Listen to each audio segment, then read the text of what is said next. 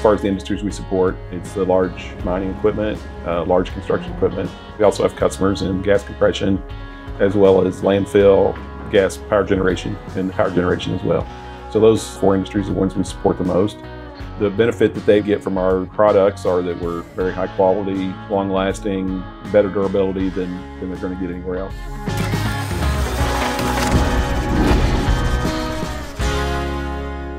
My role is team leader at SRC of Lexington. I take care of all the machine shop, all the machining of the blocks for here. I'm also the chair of the CRC Community Relation Committee. I take a lot of pride in all the blocks that we do, but the bigger blocks I really take pride in. When you look at them and they've got this type of finish,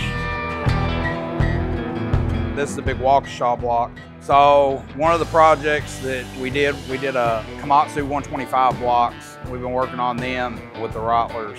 It really turns out great afterwards, so we take a lot of pride in that.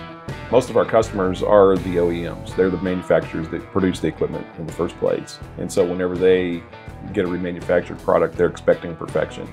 It needs to be just as good, if not better, than it was when they originally produced the product. So using the Rottler equipment, we're able to make that happen. I've been in this building for 22 years, and in 22 years, we've always had Rottler machines here. Currently, we have three uh, 105s for uh, block machining, an SG80,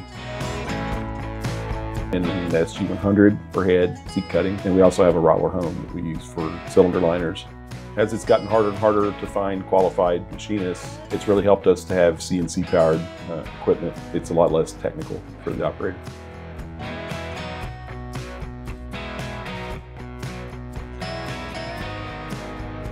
I've been using the Rottler machines for four and a half years. Now I use the F105 and the EM105. I reman blocks,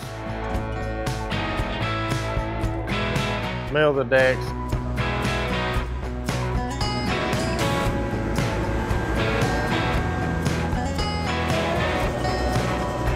and replace the uppers and lowers